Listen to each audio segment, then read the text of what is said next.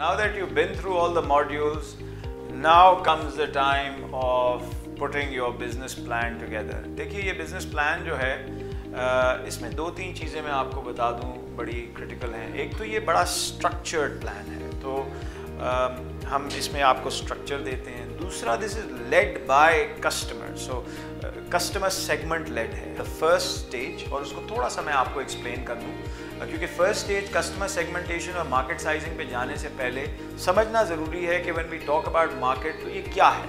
Markets जो हैं, हमारे पास जब हम बैंकिंग इंडस्ट्री के अंदर रहते हुए सोचते हैं तो तीन तरह की मार्केट्स हैं। हमारे पास, उसके बाद हम आपसे ये पूछते हैं कि ये बताइए कि आपके आपके एरिया में किस तरह के कस्टमर सेगमेंट्स हैं? अब जो स्लाइड्स पे, इन स्लाइड्स पे आप देख रहे हैं ये बहुत बड़े बड़े मैंने आपको दिए हुए हैं कस्टमर सेगमेंट्स इसके बाद हम आपको लेके जाते हैं to what we call a branch trade area this is what we are after right what we really after is for you to tell us कि आपका ब्रांच ट्रेड एरिया क्या है। अगर आप इस शीट पे जाएँ market sizing and customer segmentation sheet यहाँ पे स्टेज वन लिखा हुआ है।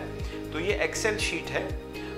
ये एक्सप्लेनेशन है और इसके साथ आप देखेंगे कि नीचे लगी हुई है शीट जो आप डाउनलोड करके इस पर आप अपनी कस्टमर सेगमेंटेशन समरी बनाएँगे। तो बेसिकली हर सेगमेंट के सामने ट्रांजैक्शनल नीड्स हैं तो नीड्स डिफाइन कीजिए प्रोडक्ट लिखिए सेविंग डिफाइन सेविंग की नीड्स डिफाइन कीजिए प्रोडक्ट लिखिए and then so on and so forth for all the four needs जब ये पूरा चार्ट भर लेंगे तो आपके पास बहुत ही हेल्दी एक लिस्ट आ जाएगी of of needs and of the products as well and then you will move on to the next stage single view map का क्या मतलब है?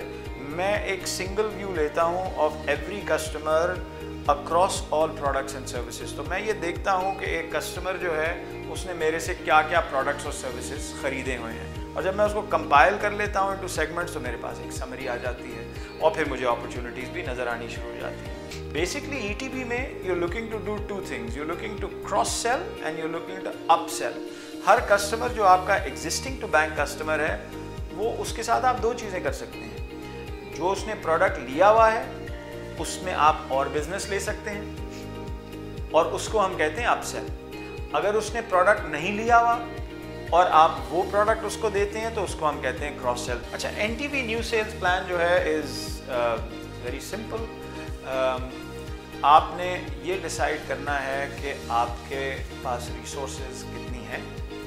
Uh, वो रिसोर्सेज जो हैं वो वैल्यूबल एन एक महीने में कितना लेके आ सकती हैं। कितने कस्टमर्स लेके आ सकती हैं और उनसे कितना वॉल्यूम आएगा।